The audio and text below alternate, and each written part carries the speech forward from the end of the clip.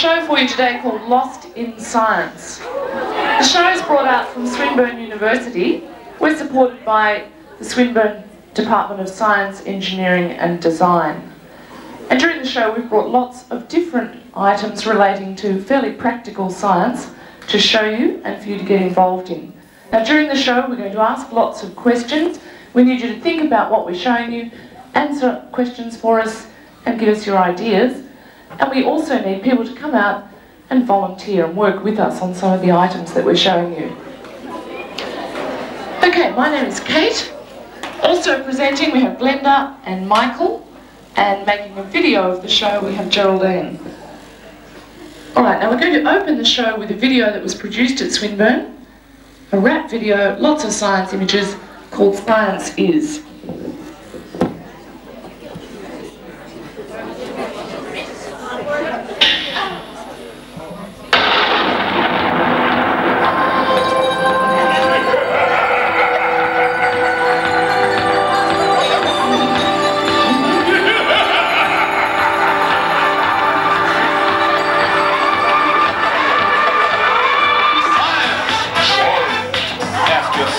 Science is. Science! Ask yourself what science is. Test tubes, crazy dudes, wild eyes and funny hair. Everywhere. Einstein, Feinstein, Edison, Jonas Salk. Vaccination, inoculation, rock the nation's population. Medicine, me- me- medicine, yeah, got to take your medicine. Science!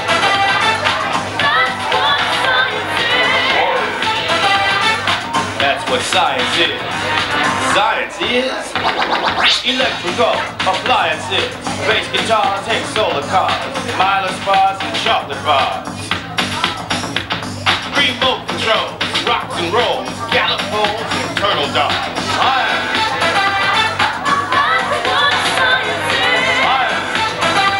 Yeah, that's what science is.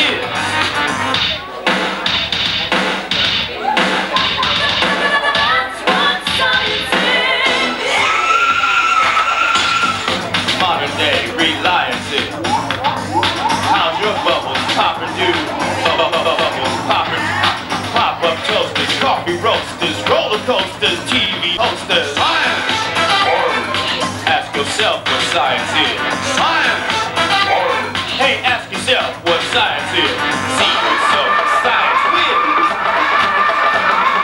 Madam Curie, radiation, atomic weights and speculation, lots trials and tribulation, faster food and fabrication.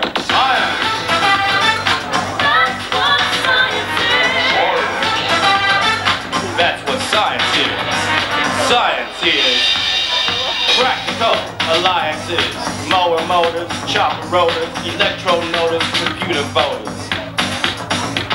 Construction cranes, better drains, faster planes, conceiving brains, and trains. Science!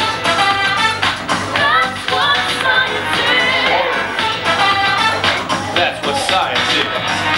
See yourself in science biz. Yeah. See yourself in science whiz. Alright. Well, how's your future looking now? Y'all know what science is. Hey, lots of choices, girls and voices. See yourself in Rolls and Royces. Rolls and Royces. Science. That's what science is. Hey, that's what science is. Science. That's what science is. Yeah, that's what science is. Okay, we that was a roller coaster ride through some images in science, and I want to introduce you to our first item, which is over here. We call it a Jacob's ladder. I'll show you why in a minute, but I'll, I'll explain to you what it's what it's actually um, what it's made of. It's we have two copper rods coming out of the top of a transformer. Now this transformer is converting normal everyday 240 volts into 15,000 volts of electricity. So we've got 15,000 volts coming out of this. Now watch what happens when we turn it on. Okay, what, what do we have jumping between the two copper rods there? Who knows? What is it? It's uh, an electrical arc. It's a spark, right? Now, as Kate does it again, I want you to notice where the arc starts jumping across. Sorry, someone said it? Does it start jumping across at the top or the bottom? Yes, it starts jumping across at the bottom. Now, the question is, if we, if we have an electrical arc jumping across at the bottom, why doesn't it stay there? Why does it rise up? But, um, why doesn't it stay there? Does anyone have any ideas? Yes? Would you like? Yes. Okay. Now I'll give you a hint. What do you think is hap- What do you think is happening to the air around that electrical arc? Sorry. Yes, it's getting hotter. What does What does warm air do when it gets hot? That's right. So now you can guess what's happening. The electrical arc is actually rising up on the current of warm air until the gap between the two points on the copper rods is too far for it to jump over and it starts at the bottom. Now I'll tell you something about electricity. Electricity is very lazy and it's always going to find the two shortest points to jump across and that's why it starts at the bottom. Now, what natural phenomenon does this remind you of? Where have you seen this happen in nature? Say again? What about when it rains and there's thunder? Lightning, yes, this is like lightning. And lightning, like the Jacob's ladder, is lazy and it will find the shortest point to earth. Whether that point is the top of the tallest pine tree in a forest or the tip of your umbrella when you're walking across an oval in a thunderstorm. Now, not many people have survived being struck by lightning because when it strikes you, the point at which it strikes is supposed to be as hot as the surface of the sun. But there is the anecdote of one um, American park ranger who was struck by lightning nine times, and he survived. Although he lost his eyebrows, he lost his fingernails, and a few other bits and pieces. And he, he is no longer a park ranger. But that goes to show that someone can be struck by lightning and survive the experience. So that was Jacob's ladder. Glenda. Thanks, Michael. I need a volunteer for this item. Would you like to come out? What's your name? Nick. Nick, I'd like you to introduce you to Jaws. Now, Jaws over here is a very vicious shark, and I want you to perform a trick. Watch very carefully. I want you to pass this rod down between Jaws's tonsils, but you've got to be careful. Can you see what I'm doing? Just down between those two bars. You've Got to be careful because if you tickle his tonsils, he might bite. Okay? Do you think you can do that? Okay. Off you go, Nick. Uh oh. Uh oh. Sorry, Nick. Pull, pull hard. Okay, try again. Try not to get his tonsils this time. Makes him very angry. Maybe you're using the wrong end. Did I use the other end before? Let's see what happens.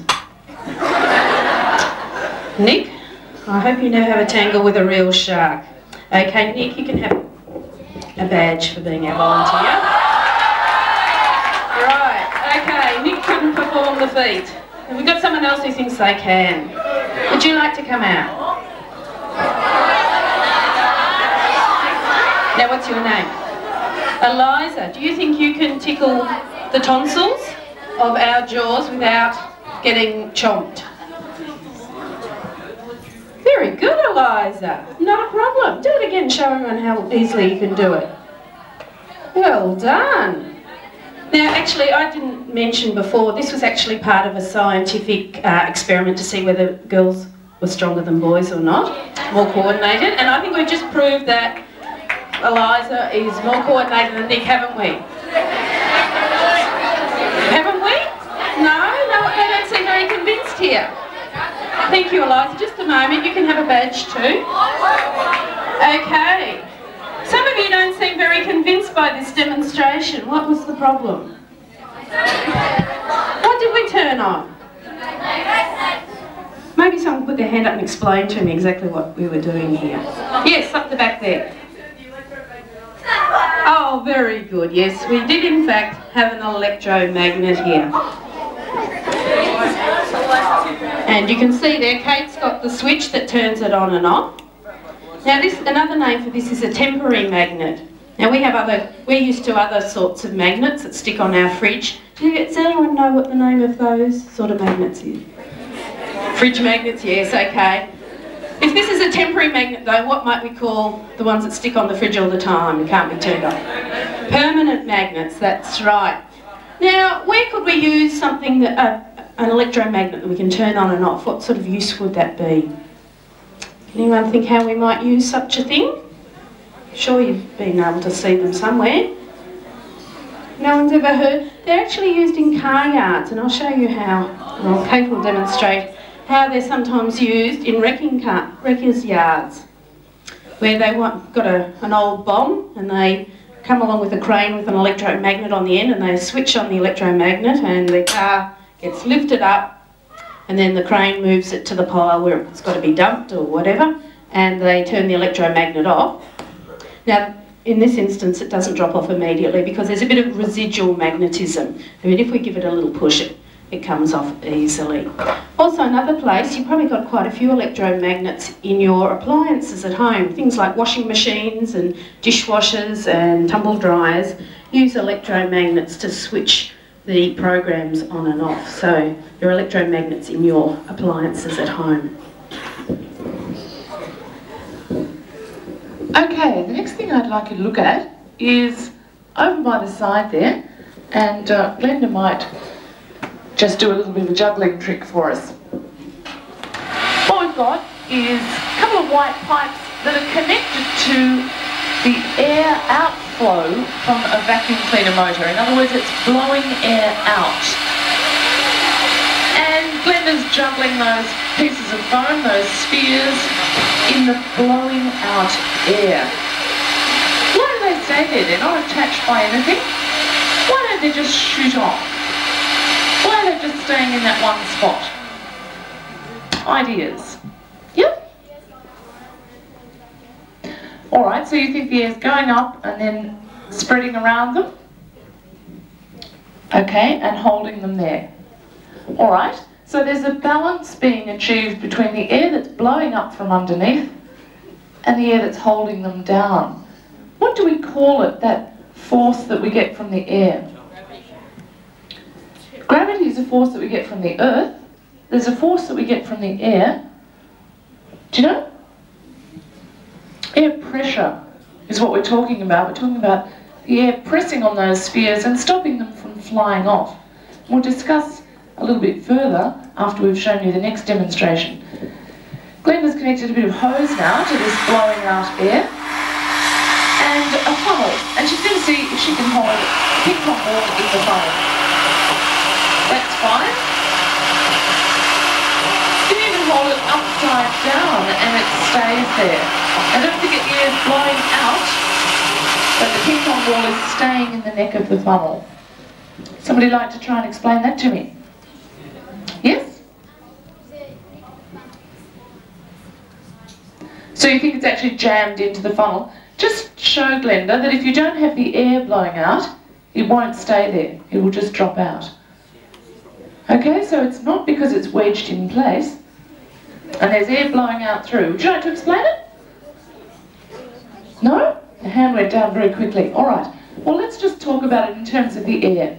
When the air is blowing out, it's moving quickly. Fast moving air actually exerts less pressure. So it's a low pressure of air that's coming out, even though it's moving quickly.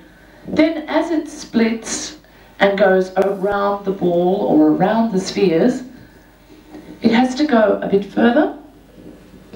And when it comes around to the top, it's going slower. And slower moving air exerts more pressure. So when the air is moving slowly, it's pressing down on the spheres or on the ping pong ball, compared to where it was going fast and exerting a little bit of pressure. All right, We'll just have a think about where we can use that. Where can the difference in air pressure between fast and slow moving air be used to help us? Yep. Okay, vacuum cleaners is a good one.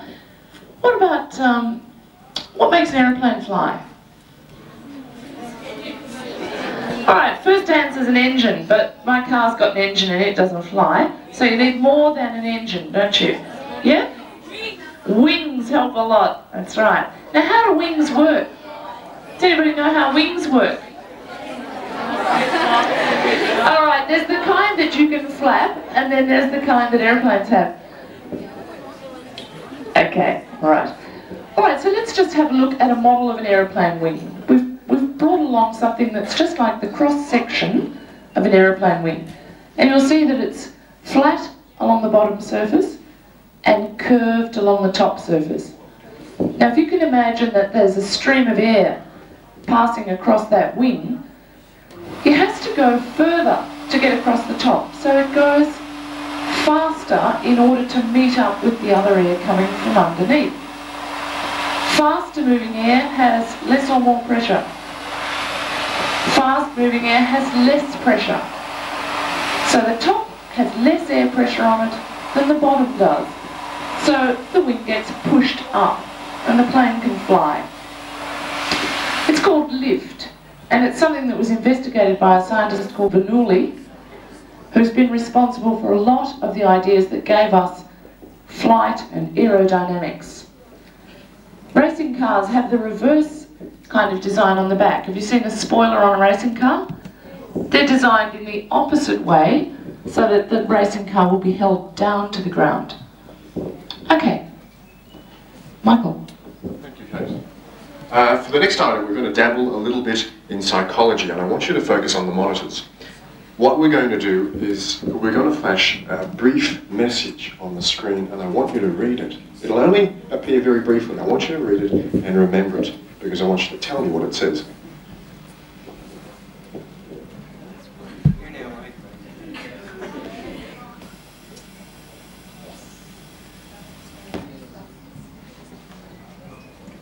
Okay, did, did you all read that? Who can tell me what it said? Yes. Paris in spring. Okay, now, did anyone read anything else?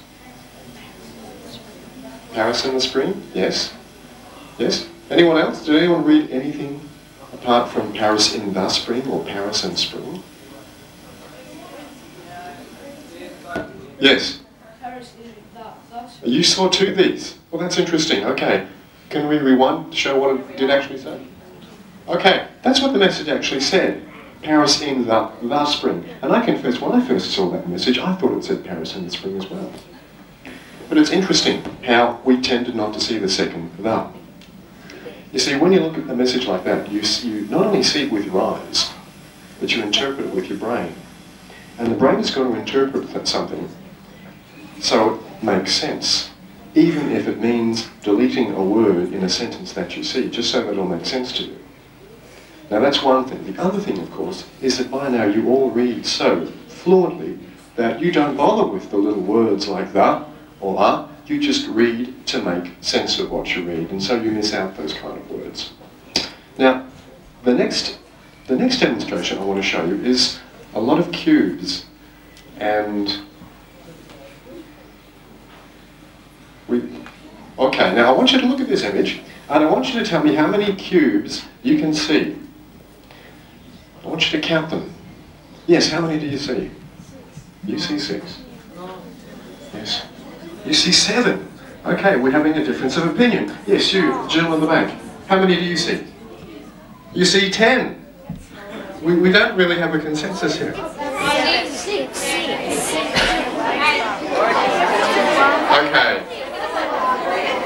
I, we have some disagreement, right? So what we're going to do... Listen, listen, this is what we're going to do. If you're looking at one monitor, I want you to look at the other monitor because we're going to invert the image. Okay? And I want you to tell me if if you see the same number of cubes, cubes you saw the first time.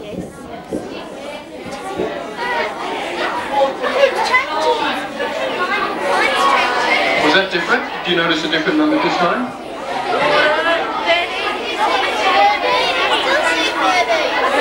Okay. Let me explain to you what's happening. We're, we're showing you an image. we're showing you an image, okay, that is confusing to the brain because it is a three-dimensional image that we're presented in a two-dimensional format and your brain can't make up your mind whether it's seeing six or seven. Sometimes it sees six, sometimes it sees seven. Which is, and that's all because you behold something with your eyes, but your brain tries to make sense of it. Now, does anyone know what these things are called? Yes, they're called optical illusions. Now, I want you to have a look at our next item.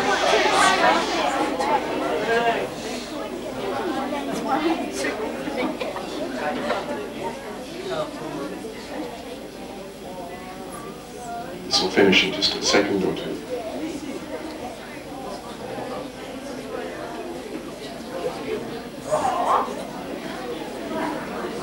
Now this is interesting. Do you think the triangle is in front of or behind the glass? You think it's behind? Okay.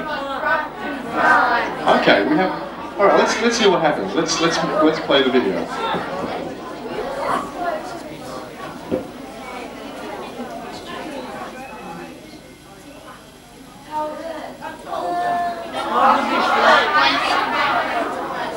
Okay, we'll freeze the video. Does anyone have a theory about what's happening here? Yes. There's a gap it. You don't think it's a closed triangle? Yes. The same. Okay, well, we're going to play the video and we're going to show you how we created this optical illusion.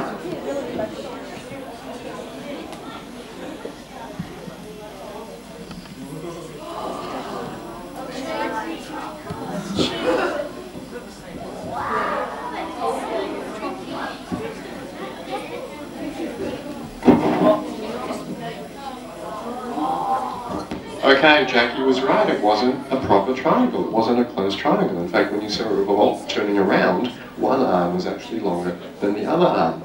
Now, it was easy to create this optical illusion because it was a 3D image.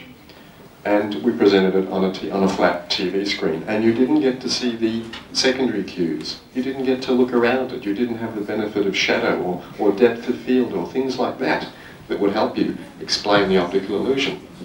Okay, now finally, I want to show you another image that I hope is familiar to you.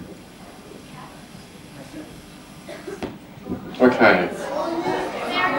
Now, you all know who this is. This is Lady Di, and you can see that she's upside down. But is there, some, is there something still peculiar about her face?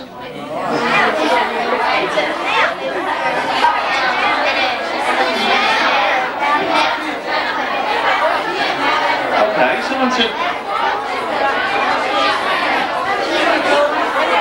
Okay, now, the face is kind of recognizable this way, even though it's upside down. We're just going to show the next image now, where the face is right way up.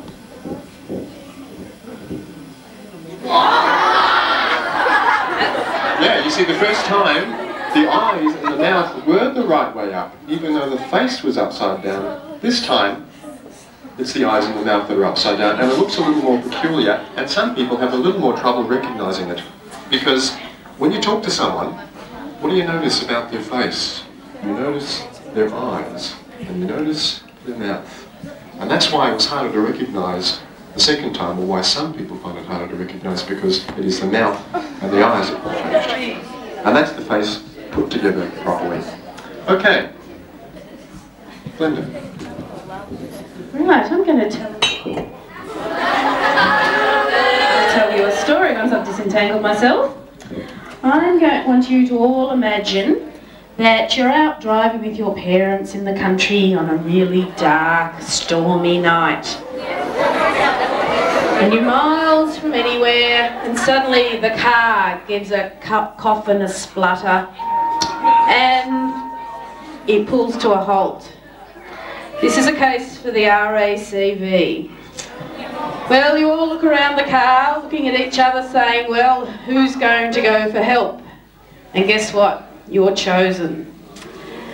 In the distance, you see a light on the hill and you think, aha, there must be a farmhouse or something up there. So you head off towards this house on the hill. But as you get close to it, you discover it's not a farmhouse at all. It's sort of like a weird castle. Feeling a little bit nervous, you knock on the great big door, but nobody answers. But the door creaks open, and so you think, well, this is my only chance to uh, get help, so I better go in. So you go inside, walk down the deserted corridor going, anybody home, anybody home? But no one answers. And you walk into the first room you find. And uh, yes, there is a phone on the wall. Fantastic. You're about to reach for the receiver, you find, see something out of the corner of your eye moving. And you notice that on the bench in the corner, there's a body. And it's shrouded in a sheet. And uh, it starts to move. Guess whose place you have found? It's Dr. Frankenstein, and it's his monster on the slab. Right, and as he as he gets up, he says, "I'm thirsty."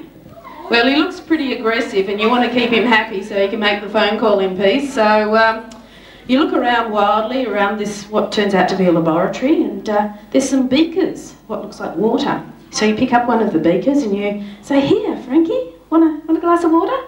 No, don't like water. Well, they all seem to be water, but maybe we can make something else. Aha, we've managed to make some monster juice. But no, Frankie said I had that for breakfast. No, I don't want that. Oh well, uh, let's try again. See what else we can make. Maybe we can make some milk. And you know what? Frankie seems pretty happy with the milk and he gulps it all down. Now what happens if you drink too much cold milk? Sometimes you get a headache, sometimes, sometimes, sometimes something else starts to hurt. Stomach ache, okay. What do you take for a stomach ache? Aspirin, Panadol, maybe some Eno or something like that. Let's see what we can produce. Okay, nice fizzy drink. Well, you give that to Frankie and he drinks that down and he feels so much better that he lies down and goes back to sleep. And you're able to make your phone call to the RACV and you're the hero of the family. Okay. I'm going to need a volunteer for the next item and I need somebody who's got heaps of energy to share with us. Okay, would you like to come out? Oh, hang on, hang on. No, you've got double vision. It was you. Put your hand up again next time, sorry. Alright, what's your name? Sorry? Laura. Laura, okay. Alright, Laura. You're going to work over here with Glenda for the moment. Do you ride a bike? Yep, so you know how to do a bike pump? Yep, good, because we're going to put some of your energy to work pumping up the, with the bike pump. We've got a piece of apparatus there which we call Thumper for reasons which will become obvious. It's designed to have two compartments to it. It's got cylindrical compartments which are connected by an O-ring and they can move through each other. And there's a piston down at the bottom which is connected to the, the compartments. We're going to get Laura to use the bike pump or take turns with Glenda to use the bike pump, to put air into the two separate cylinders of this piece of apparatus. Just a low pressure of air in the lower cylinder, but in the upper cylinder, we want the air to be under high pressure. So Laura's going to do lots and lots of work with the bike pump. She has to get around to the mark with the red dot on it, the 400 kilopascal mark. Now the first couple of hundred are not so bad, but it gets a bit harder. So what we're doing is getting Laura to do some work, which we will then transform into another kind of energy that we can use. This particular piece of apparatus is a model of something that's used in heavy industry. Probably don't use a bike pump to pump it up, but still. Okay, now we've got 400 kilopascals in the top cylinder, 200 kilopascals in the lower cylinder. Underneath the piston that's attached at the bottom, we have a little lead slug. And we're going to see what happens when we release the air so that the cylinders can move. Alright, we'll turn the tap, let the air out.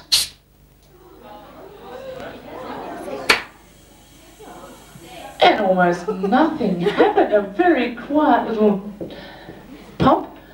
All right, now that was not the expected result at all.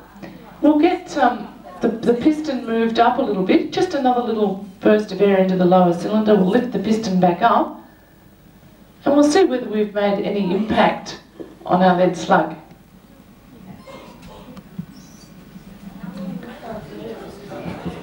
Alright, now when you look at it, you can see the original lead slug, which looks like a little old-fashioned haystack, and the squashed one next to it. It was a very quiet impact, but it squashed that lead slug down to less than a third of its size. Thank you, Laura. Not too hard work? Good. Alright, that was very well done.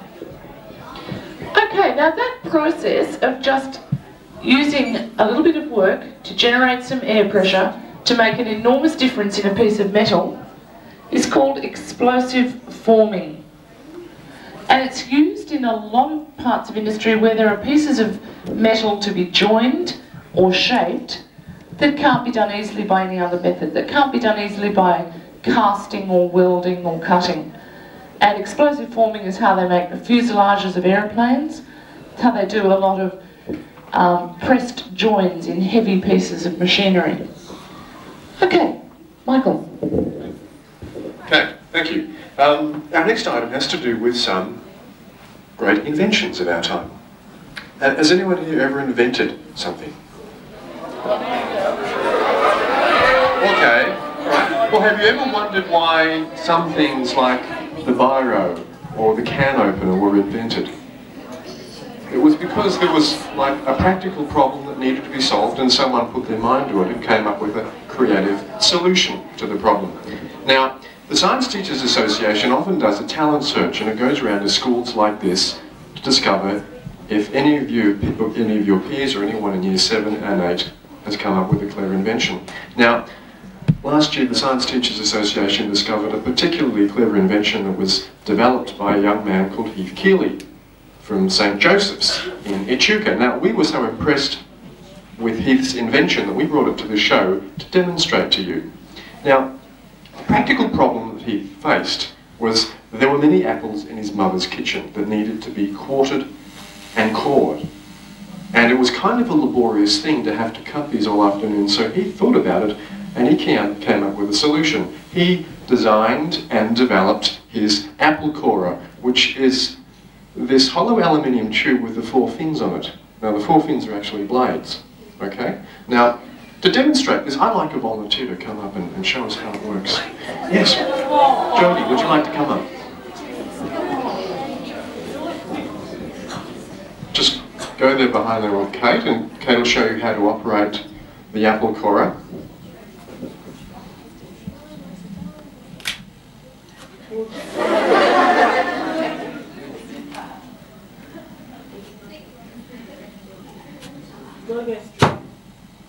Okay, and as you can see, it's quite, it has efficiently and cleanly quartered the apple. Now, Jody, stay there.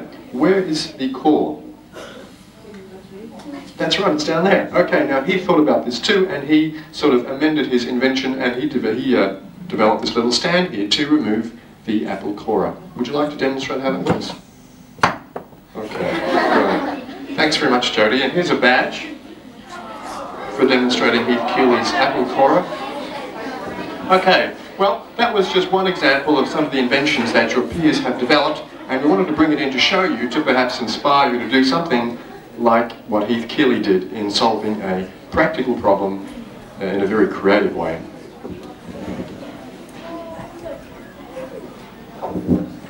Right, I'd like you to uh, turn your attention over this way.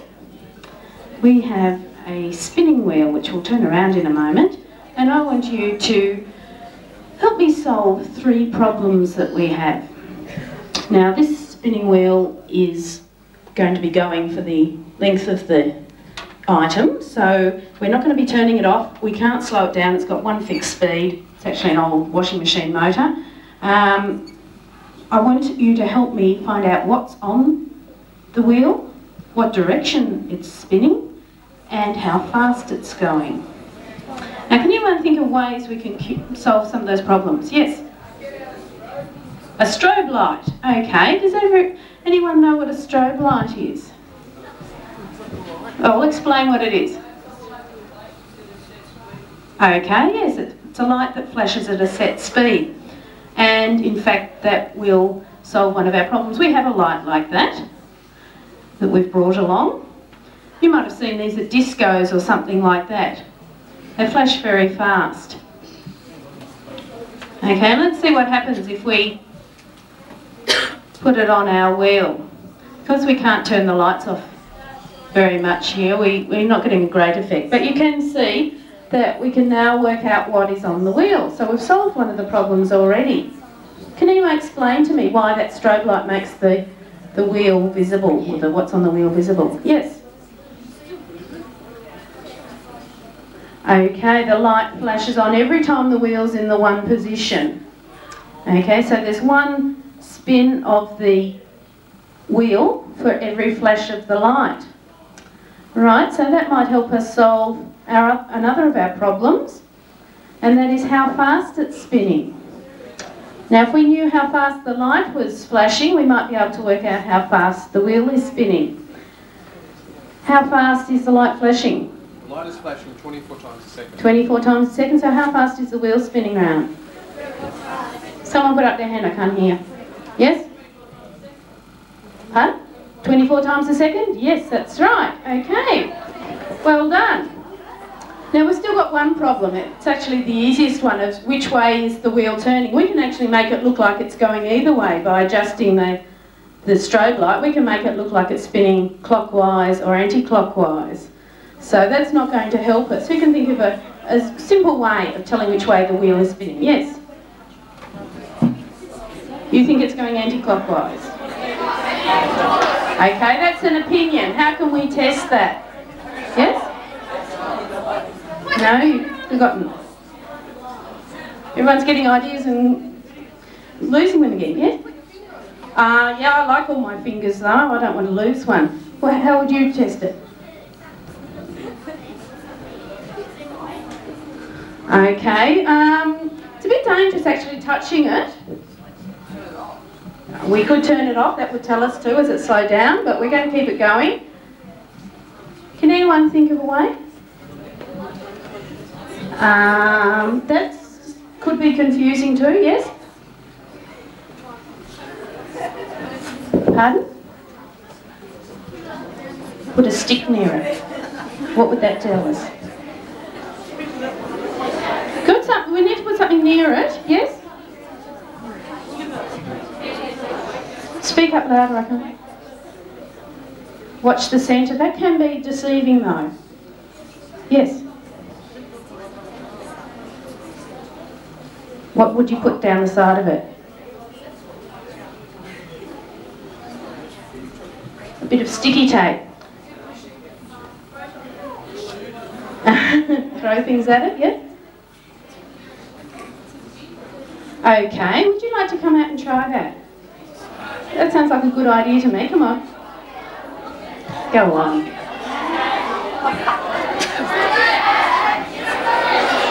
What's your name? Fleur. We, well, you might be able to feel the wind, but you won't be able to show everyone. So we've got some little bits of paper there. If you go behind there with Michael and hold some paper up, everyone will be able to see which way the wind is blowing. Okay, what way does the paper seem to be going there? Upwards, right. Hold it on the top there, Fleur. And now it seems to be going to the left and hold it down the other side. It's going down. So we think the wheel must be going anti-clockwise. Okay, thank you very much, Fleur. You can have a badge for helping out. It was a brilliant idea. Very simple, but... Okay, so we've solved all three of our problems with our wheel. Now those strobe light that we looked at earlier are also used in industry. Uh, sometimes if large machines need to be inspected, rather than turn them off and shut the factory down, they use strobe lights to look at them while they're going around so they can check if any nuts and bolts are loose or whatever. And also motor mechanics use them if you've ever seen a motor mechanic use what they call a timing light, and it helps them check the speed of the engine, and they can tell whether their engine's going at the right rate or not. All right. For several years now, Swinburne University's Department of Engineering has run a competition for their first year students to get them involved in some principles of designing equipment. And the competition that they designed was to make a rubber band powered racing vehicle. Alright, now that's been a traditional thing for the university students to do, and for the last few years it's been accessible to school students as a competition that we've been running. And we've got uh, a videotape of last year's competition entries. These were vehicles that had to be built to be powered only by a single rubber band, and in this particular case they had to run around on a circular track. And we were looking for the one that could get the greatest distance, so it was an endurance race, not a speed race. The first one underway.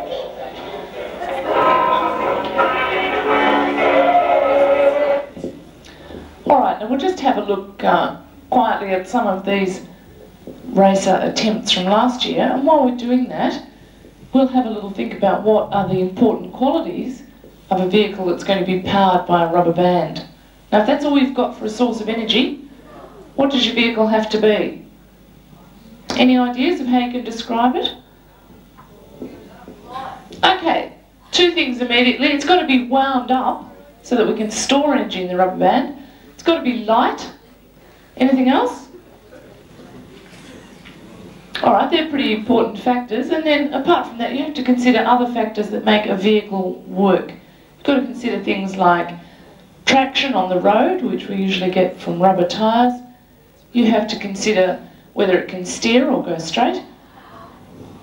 Or in this case, go around in a circle and go a really, really long distance, almost make it back around to the start again. Okay, we've got a vehicle, a rubber band powered vehicle. Looks like a very sophistic sophisticated tricycle.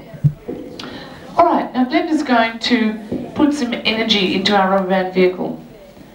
By stretching the rubber band, hooking it onto the back axle, and winding it up to store energy in it. And while she's doing that, you can have a look at that vehicle. You can see that it's made from light plastic, which has been drilled out to make it even lighter.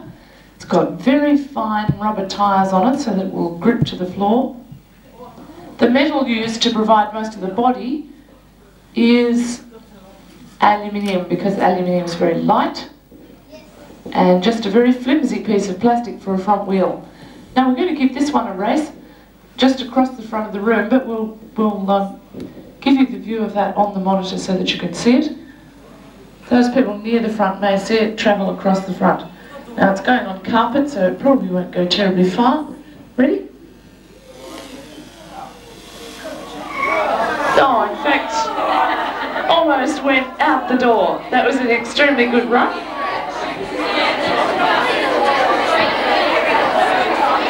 Okay, it's actually quite fun designing and modifying a vehicle like that. So if you want to get involved next year in a competition like that, the school will be notified when Swinburne runs its next competition. Thank you. Michael. Okay, I want to talk to you now about alternative forms of energy. Have you studied alternative forms of energy in, in, in, your geography subject? Now you know that there are some forms of energy that are called non-renewable because once they're used, they can't be used again, such as coal or natural gas.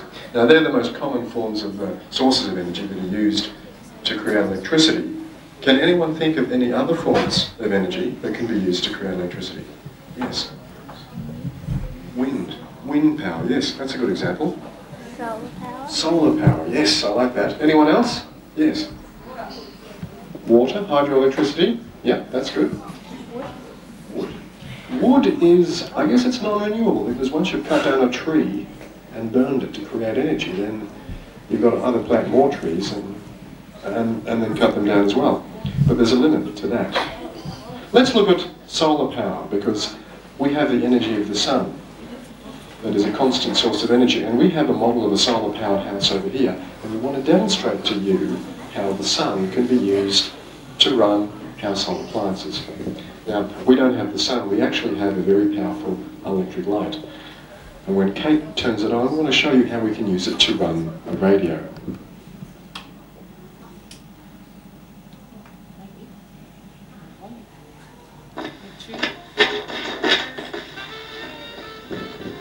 Okay, so we can use that to power the radio.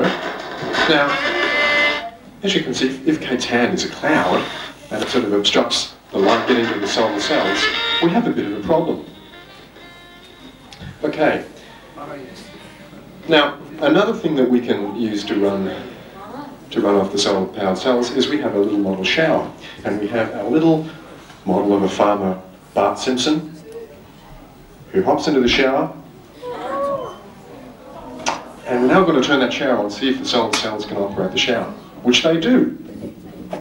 Now Bart is enjoying his shower there, but now Bart has a cat which can be a nuisance because it likes, it likes basking on those warm solar cells which get very, very hot.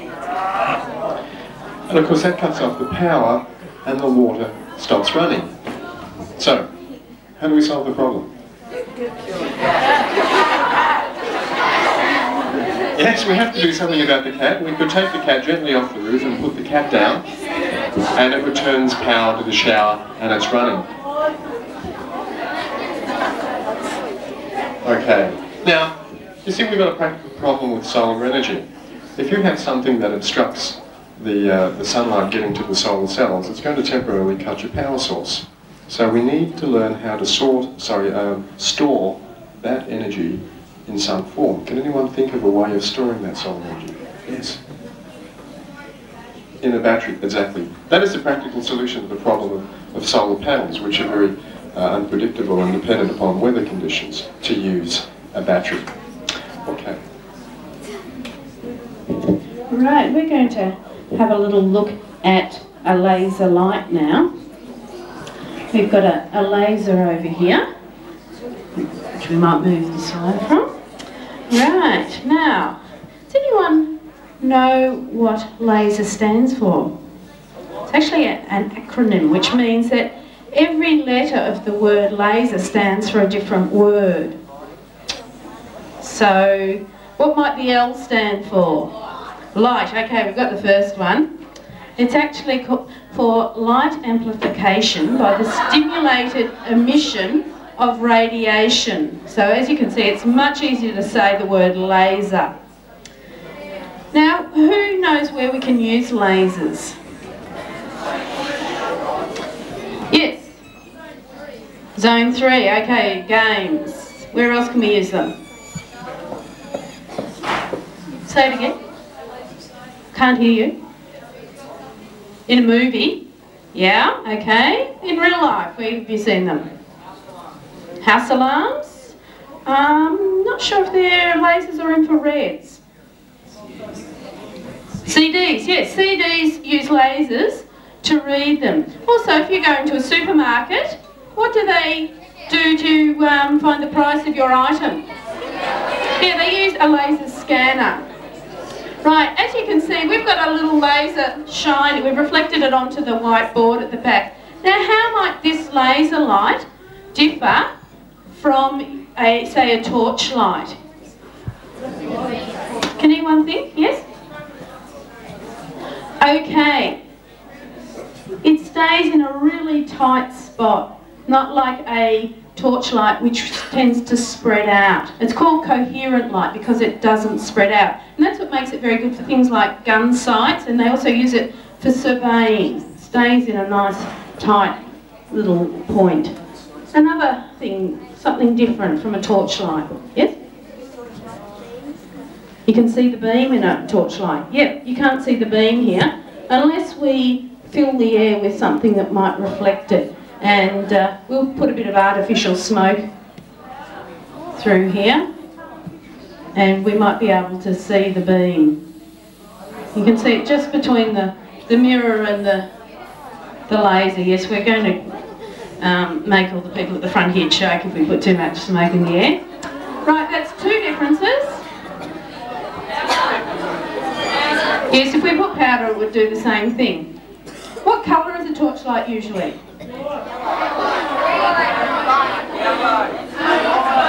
Yellow. Usually for a normal torchlight. This one is red. Not because we put a bit of red cellophane in front of it, because, but because it's the type of laser it is, it produces a red light. So there are three differences that lasers produce, different from uh, torchlights. Now we can do some interesting things with lasers. We can bend it round corners because light bends round corners, doesn't it? Yes? It doesn't really, but if we put a Perspex S here, we can actually get the laser to go around those corners. Now how can we make a light bend, do you think? Yes, up the over on the other side? Refraction. Uh, in this case, it's not refraction, it's something similar though. It's actually reflection. It's called total internal reflection. What happens is the beam travels straight until it hits one of the internal walls of the S and then it reflects off and it keeps on bouncing around the inside of that S until it gets to the end. You can see the light coming out the end. Now this is the same way that optical fibres use light, laser light. And we've got a little sample of optical fibre that we're going to plug in. And you see we can bend it into any shape. We can even tie knots in it and the light still travels around the optical fibres. This is how things like telephone calls and the like are transmitted from one city to another using laser light and optical fibres. Thanks. Okay, I'm going to need a volunteer to come out and help. Okay, would you like to come out? Yes, you?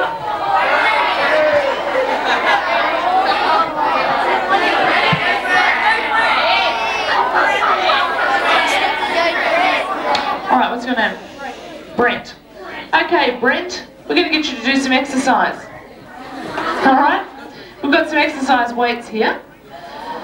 But you can sit down while you're doing it, alright? So sit down on the stool, put your feet up, tuck them up, that's right, and I'll get Glenda to give you some exercise weights to hold on to. Now they're quite heavy.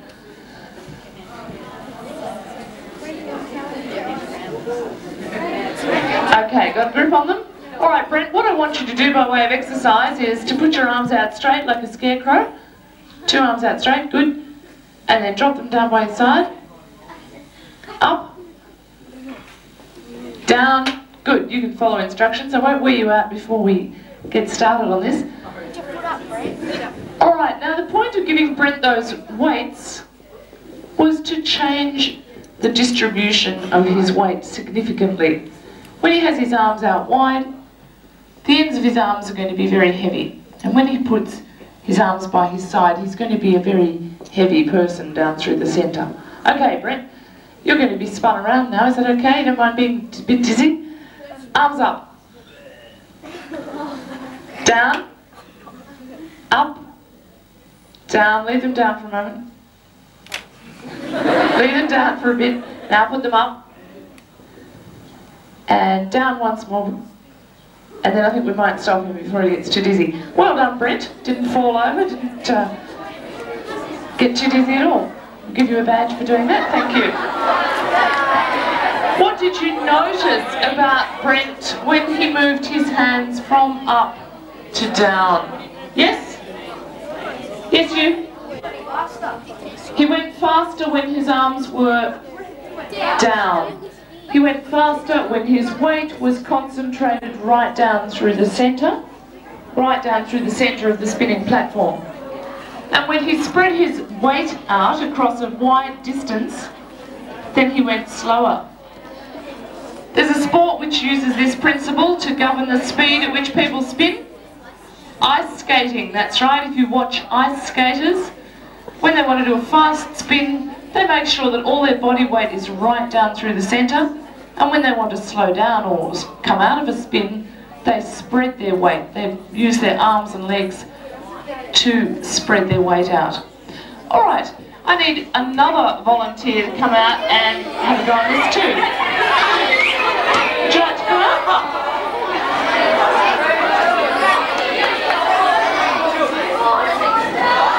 Okay, what's your name? Brooke? All right, Brooke, do you ride a bike? Good. Uh, we've got a, a, piece of bike here. We couldn't fit it all in the trunk, so we only brought the front wheel and the handlebars, so we'll just make do with that. If you can go with Glenda, you get to sit on the stool too.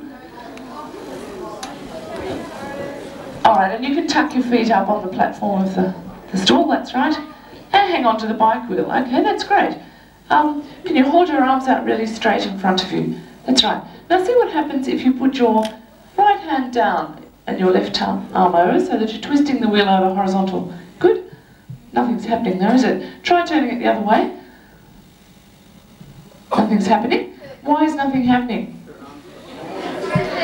You wouldn't expect anything to happen? Alright. What would happen if you were on a bike and the wheels was totally still like that? Oh, I'm glad to see you, you familiar with that. That's right. If you're on a bike and the wheels aren't moving, you'll fall off. It'll fall over. So we will spin this wheel up so that it has got some movement in it. Get Glenda to put some of her energy to use. And then she'll give the wheel back to Brooke. Now hold it up straight, Brooke. And now steer again. Put your one arm over the other. That's right. Excellent. Try going the other way. Okay, and you're going back the other way. Keep going, you can steer again. Now what we've done is... That's not a bad ride, is it, Brooke? Might be able to control your direction terribly well, but that's quite good. Okay, well done. That's it. Quite tough to hold on to that. Thanks, Brooke. Okay. When the wheel is spinning, when the bicycle wheel is spinning, it has a force called angular momentum. Which means that the bicycle wheel continues to move on in this line along which it's going. And when, when Brooke was holding the spinning wheel and turning it, then there was a force coming from the wheel, but she was holding the wheel tight. So in fact, the force was being transferred down and operating through the spinning platform instead. Alright, so it was just a matter of some opposing forces going into play there. Alright, Michael. Thanks, Kate. Now, from physics, we're going to go to chemistry. I want to show you a particular kind of chemical reaction. We have over here um, a chemical bath. What you can see is the word fade. Fade is written on a template that has been put next to this chemical bath. We can show you that it's a template by removing it.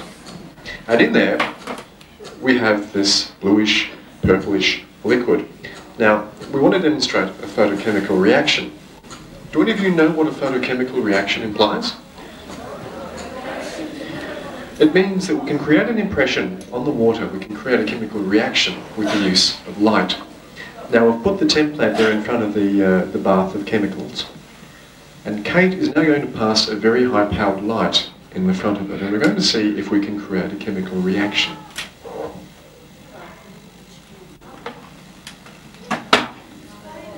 Okay, can some of you see that? Can you see how it has left an impression in the water? When she moves the bath, you can see the words waving there in the water because it's an impression in the chemical. Okay, now this has some very interesting applications and I'm wondering if anyone knows where photochemical reactions um, occur or where they're used. And I'll give you a clue. There is one lady in the room who is holding something that involves a photochemical reaction. Yes, a camera, exactly.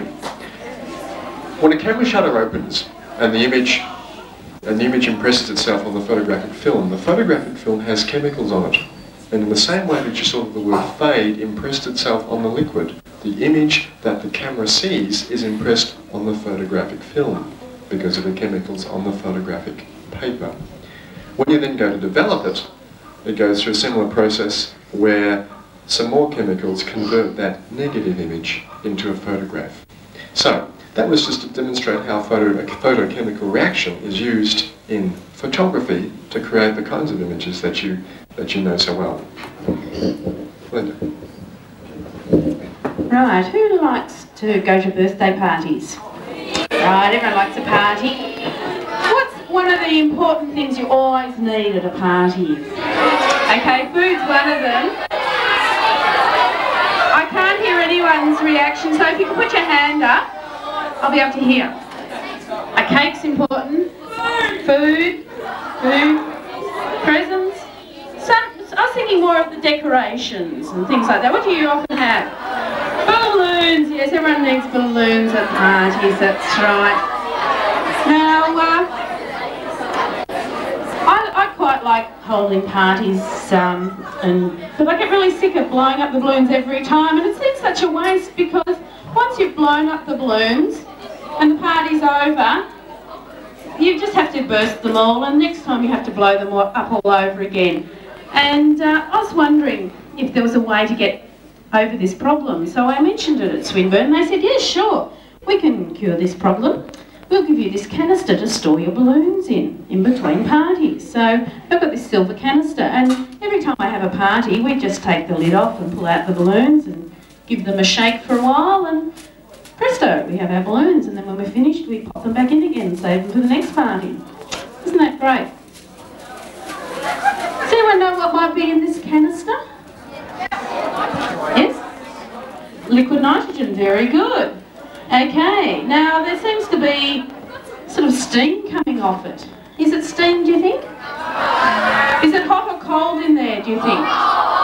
Cold. Some people say hot, some people say cold. It's actually very cold. Liquid nitrogen is almost minus 200 degrees Celsius. So you can imagine that that is very, very cold. Your freezer at home is only about minus 40 degrees. So this is much colder than a freezer.